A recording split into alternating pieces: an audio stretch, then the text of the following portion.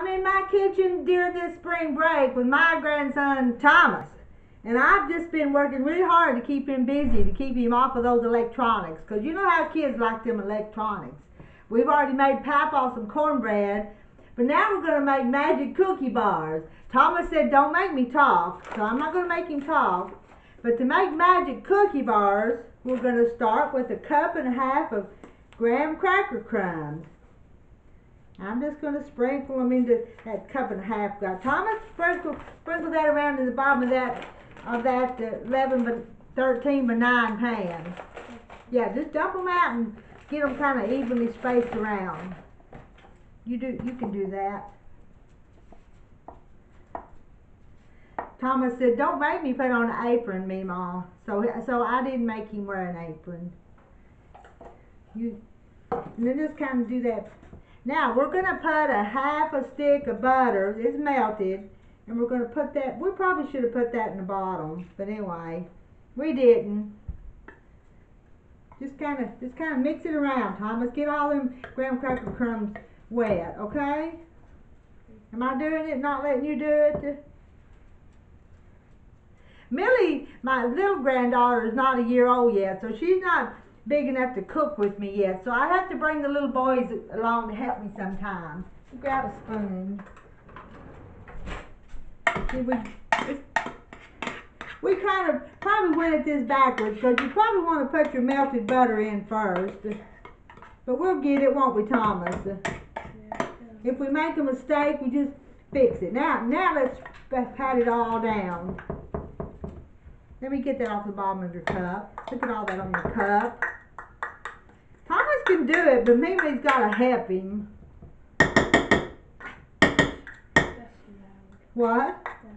Am I making a mess? No. Then Mimi, you're making a mess. I'm to help with my fingers. How about that? What are we to put next, Thomas? Add the next three ingredients. Now that's pretty good. We've got it. We've got it spread in the bottom. We've got it spread in the bottom. Thomas, a bag of chocolate chips. Spread them chocolate chips. Don't eat them. Just spread them evenly around, all over it. There you go. Now, that's good. You got it. Just kind of, just get them all now, put now we're going to put some coconut. There's a there's a good cup in there. Now sprinkle the coconut.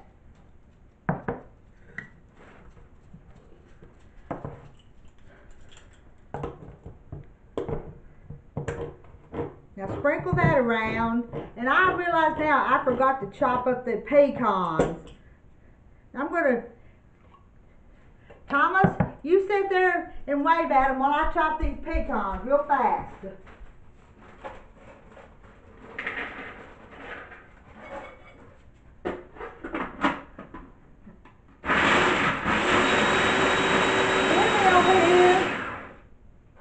To me, Thomas. Show them where I'm at. No, stay over there.